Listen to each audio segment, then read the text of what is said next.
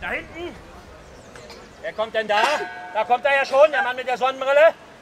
Da ist er. Der Jäger. Komm her. Der Jäger steht auf. Wie heißt du, mein Freund Jäger? Pascal! Pascal! Komm zu mir! Pascal! Pascal, mein Lieber! Pascal ist ein guter Jäger! Bleib auf deinem Posten! Pascal! Ja. Zurück! Schaut euch Pascals T-Shirt an. Natürlich ist er ein Jäger. Was ist das hier?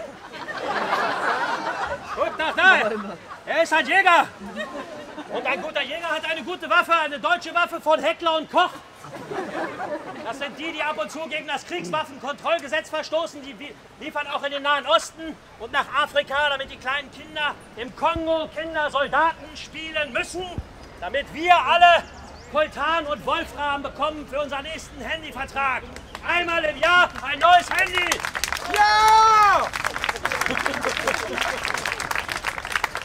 Machen wir nochmal, das ist ein geiler für die Aufnahme. Einmal im Jahr ein neues Handy.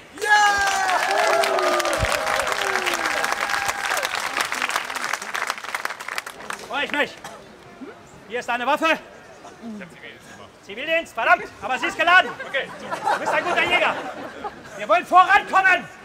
Der Wolf macht nun also ein Nickerchen im Schatten des Baumes. Pascal legt an. Ganz kurz, es ist ein Problem, Wolf. Wenn Pascal abgeschossen hat, dann bekommt er von der FDP 50 Euro.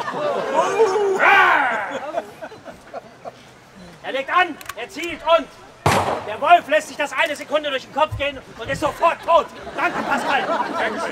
Wir sehen uns gleich nochmal.